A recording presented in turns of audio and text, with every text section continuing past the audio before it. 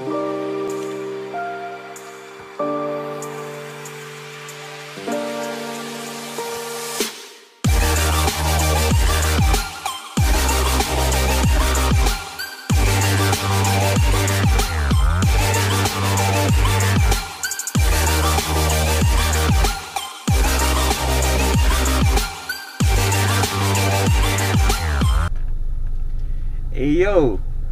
Today is July 10, 2021 Saturday It's 4.30 a.m.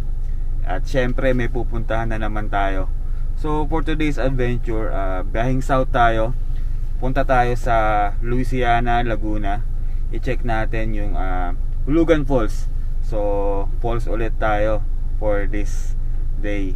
Uh, Approximately 110 kilometers yun eh mula dito sa Mandaluyong so siguro pagbabiyahe tayo ng 2 and a half hours. So 4.30am ngayon siguro 7am andun na tayo. Hopefully walang traffic.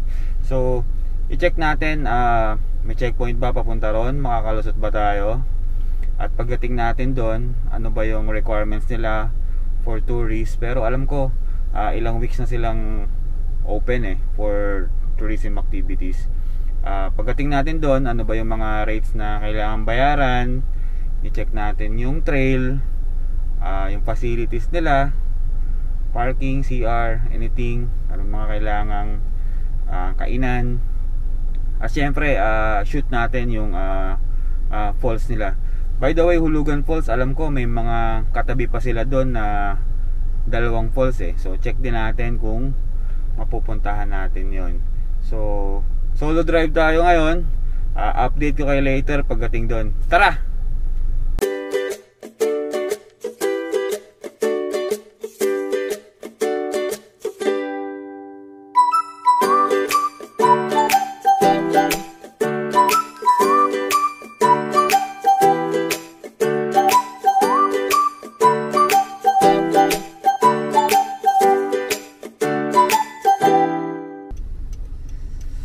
Ayo, uh, it's already 7.15 on my clock at andito na tayo ngayon sa Barangay San Salvador, Louisiana, Laguna. So, inabot ako ng uh, 2 hours and 4, 45 minutes drive from Mandaluyong papunta dito. So, andito na ako sa sa may registration area para uh, mag-briefing uh, kumuha ng tour guide at check natin kung saan pwedeng mag breakfast at mag coffee naantok pa rin ako eh. So update ko kayo later. Tara! So before tayo pumunta sa falls uh, kaya muna tayong breakfast. So umorder tayo ng beef mami and pansit habhab so pansit habhab for 15 pesos beef mami for 35 pesos total of 50 so tikman natin. Yo so 7.30am at andito na ako sa parking papunta sa Hulugan Falls. Uh, may nakikita ako na konting sasakyan pa lang.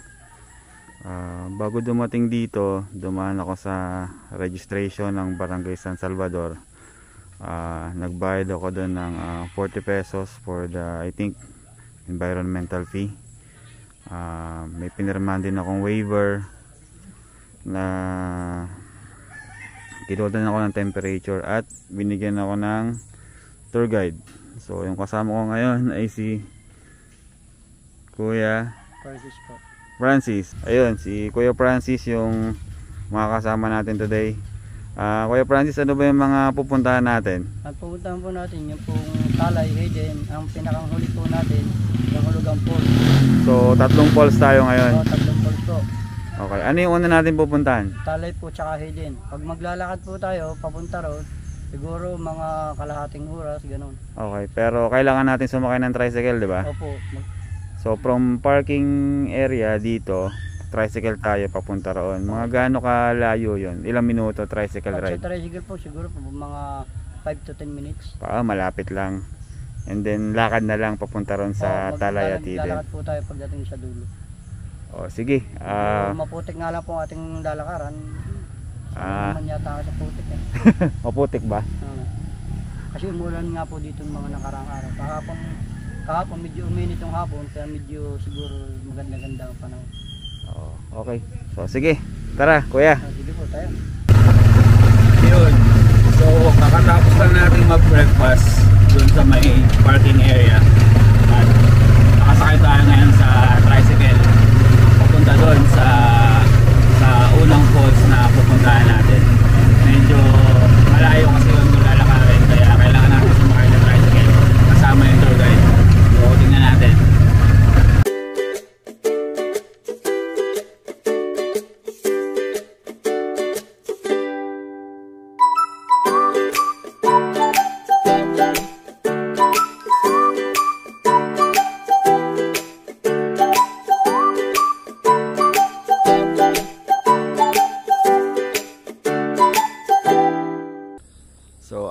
5 minutes tricycle ride, ah, andito na kami ngayon sa daan papunta sa Kuya, anong unang falls pupuntahan natin? Talay sa Hayden. Talay at Hidden Fall. So saan tayo dadaan? Oh, sige. So pababa. Sabi ni Kuya Francis, ah, maulan ng mga nakaraang araw kaya medyo madulas yung trail ngayon. So check natin. Kuya, ano bang kwento niyang Talay at ah, Hidden Falls? May kwento ba yan? Meron naman sir. Yung po daw talay sir. Yung po daw ano, may naglalaba po daw yung ano, sabi sa talay. Okay. Yung, yung nanay. Tapos yung bata, ito siya nung ano, ito siya nung tatay. Parang tagong na yung nanay mo. Kakain na tayo ng tanghalian. Okay. Ay yung bata eh, parang may pagkabulon. Kaya ang tawag din siya ko na tinawag yung nanay. Talay, talay, yun. Kaya, Ah, yung talay. Yung pala yon. Yung batang bulol, tinawag yung Yung nanay niya kakain na. O yan, oh. Instead na nanay, Yung naging talay. talay. Mm. yun ang talay O falls. yun po, yun po yung talay po. Yun namang hidden sir. Oh. Hindi po mga ano, tinanong ng tour guide. Sabi, ate anong pangalan nitong ano, nitong falls na ito? Ay, hindi po namin alam sir. Bakit? Na, napuntahan na lang namin, ganito na yun. Eh. Okay. Di ang nagsabi nung, nung ano, total din lang nakatago, gawin natin ang pangalan ay hidden. Yun. Ah, Kaya ang nagbansag po niyan, ay yung mga turista na rin po na naging siya nagsabing hidden ang itawag. kailan ba nagsimula kayo mag ano, mag magpa-tour dito? Kailan nagsimula yung mga pumunta yung mga maraming tourist? 2015 sir. 2015. Hmm. Okay. 2015, October 17. Wow. October 17, kaya pa 6 years na ito sir. 6 years na. Medyo maputik nga, no? Yes. So, ilang minuto tayong maglalakad ng ganito? Yun, mga sabi, mga tatlong So, ganun. 30 minutes. Eh, madulas, mabagal tayo. siguro, mga hanggang 45. ganun. 45 minutes.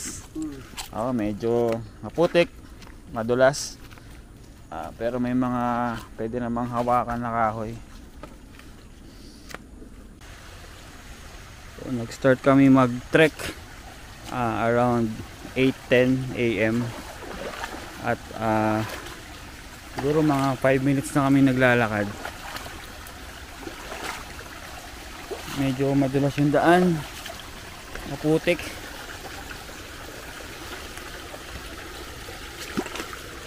Kailangan mag-ingat.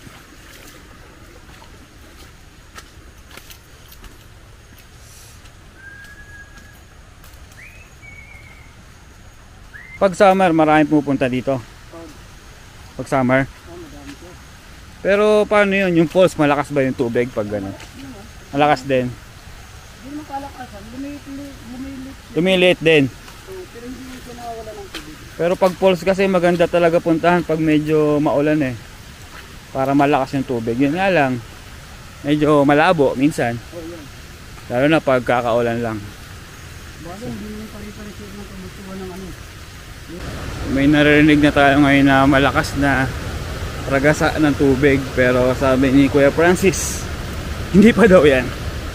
Ah, kasi mga 10 minutes pa lang tayo naglalakad. O siguro wala pa tayo sa kalahati. Maputik, madulas. Although may mga pwede ka namang kapitan, hawakan na ah, kawayan na ginawa nila. Ah, double ingat pa rin. Sa ngayon, okay yung trail na dinadaanan namin kasi maraming puno, malilim, yun nga lang, ah, maputik, madulas, maraming ugat, madulas din yun. Pawid tayo sa unang ilog. Kaya Francis, ilang ilog ba tatawirin natin? Dalawa lang, so nakakaisa na tayo. So, since wala tayong ibang kasama ngayon, si Kuya Francis na tour guide ang subject natin sa vlog.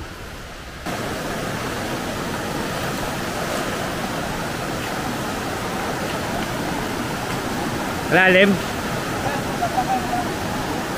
Kaya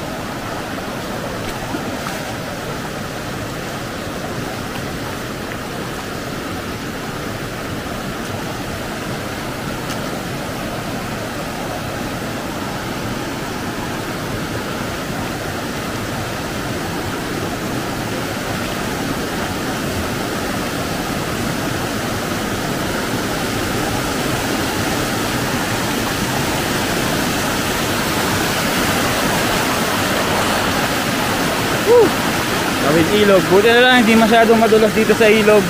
Hindi madulas yung mga bato.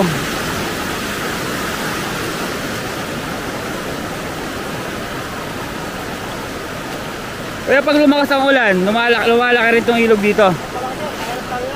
Hindi makakatawid. Nakakatawid lang kapag yung hanggang dito nakakatawid. Pero pag dito, Hindi na kaya. So 20 minutes mula doon sa ah, pinagsimula namin mag-trek. Ah, still okay pa rin yung trail. Ah, malilim, daming puno, tabing ilog. Yun nga lang, maputik talaga.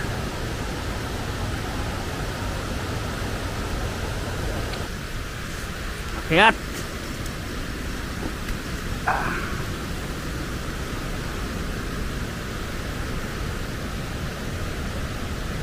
25 minutes mula dun sa ah, pinagsimula namin.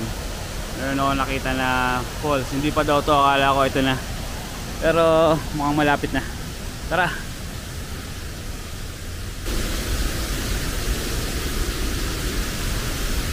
Ah. Uh.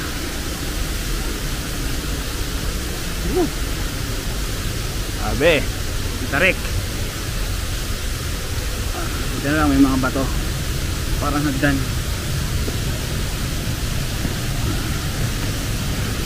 Nga lang madulas pa rin.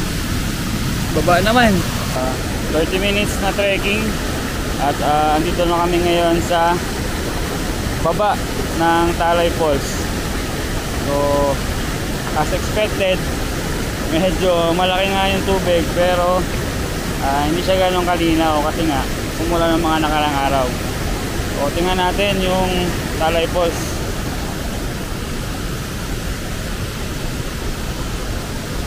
Ayun. Lakas ng tubig. So, luckily wala pang ibang tao. Tayo pa lang. Ganda.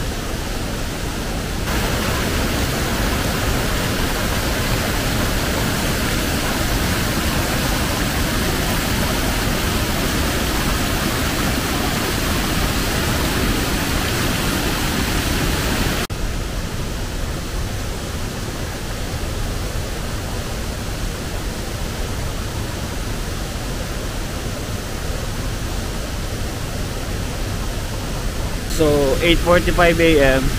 At after 10 minutes of tampisaw, picture picture dito sa Talay Falls uh, akyat ulit kami papunta sa Hidden Falls naman. So ayun si Kuya Francis nauna na. Sabi ni Kuya Francis malapit lang yung dito eh. So medyo mabato malalaking bato. Paakyat ah, less than 5 minutes mula sa Talay Falls at ito na. Ah, dito na kami ngayon sa Hidden Falls. Ang ganda! Ang laki! Walang tao? Walang tao ah.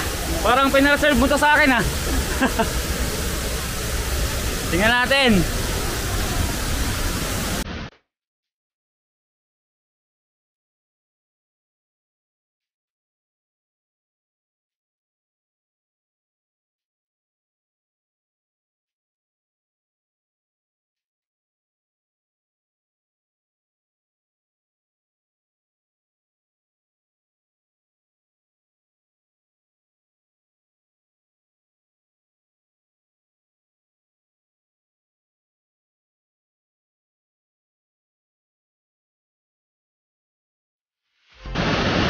Yo, 9.30 a.m.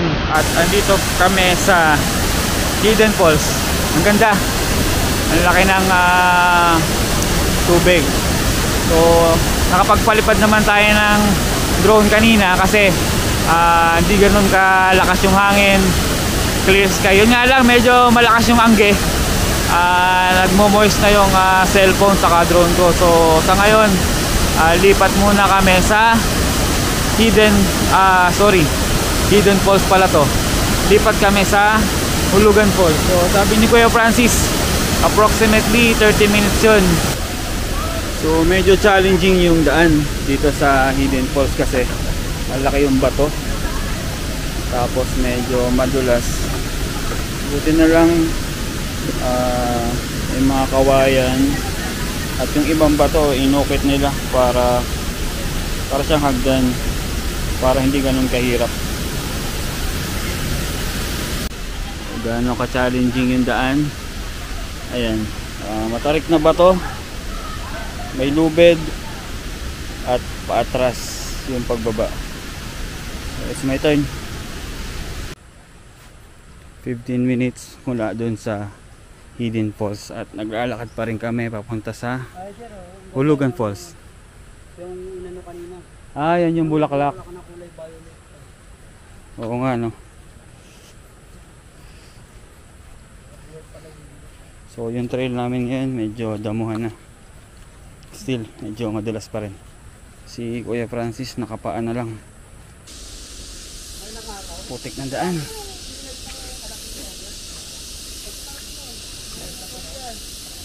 Tandaan lang. Preview ng Tulugan Falls. Ayun oh. Taas. Ang ganda. Pero pababa pa kami.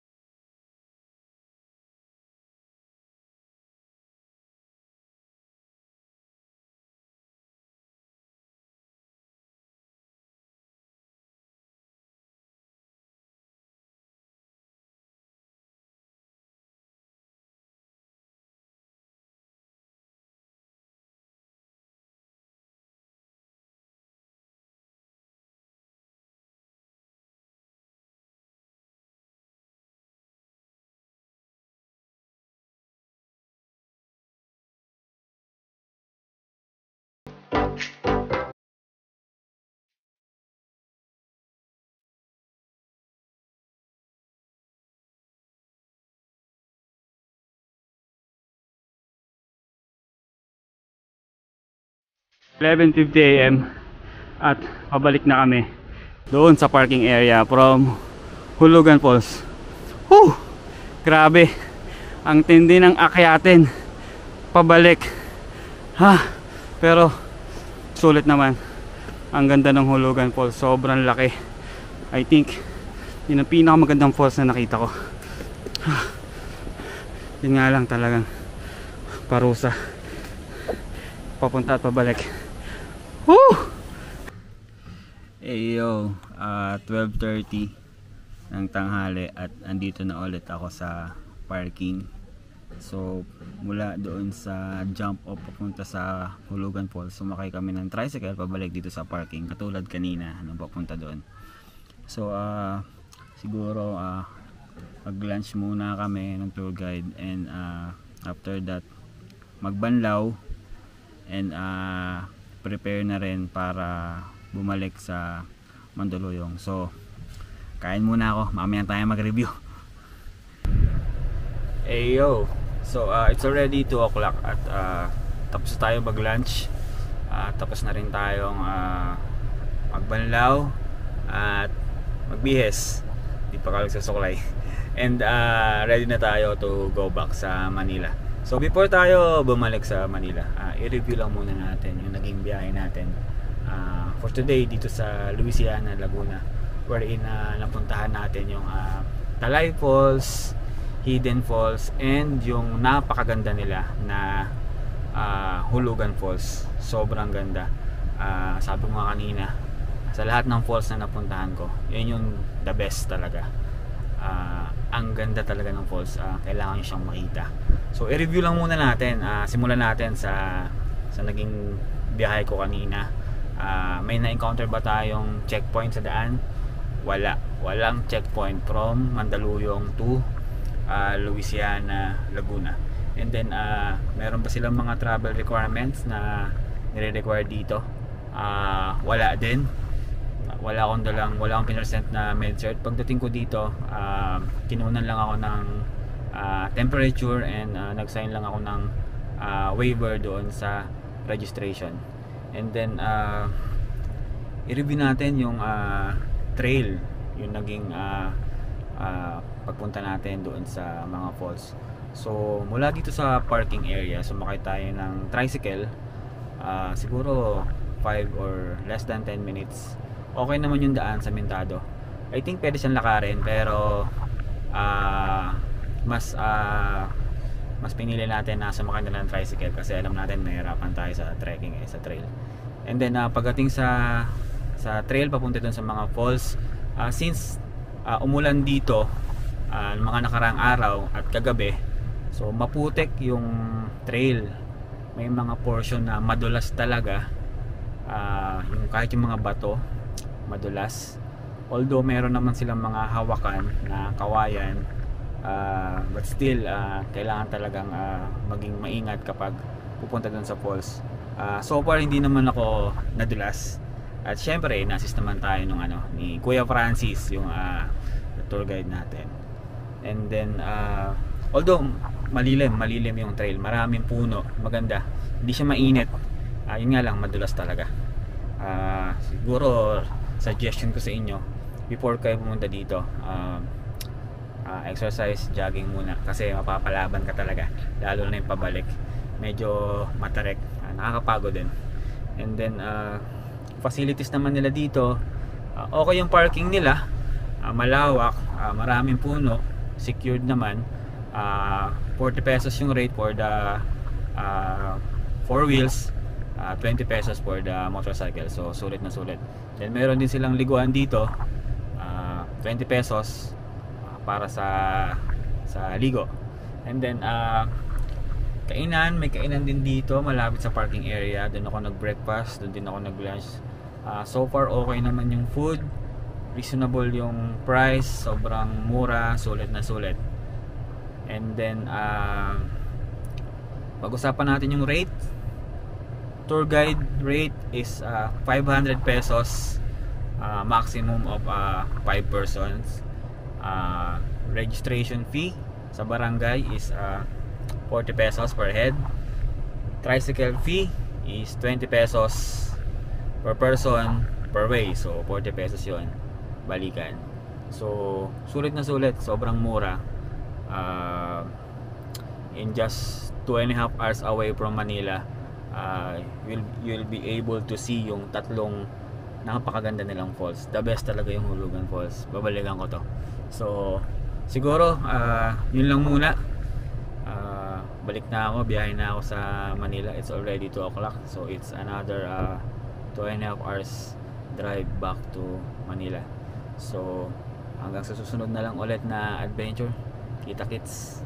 Tara, appear.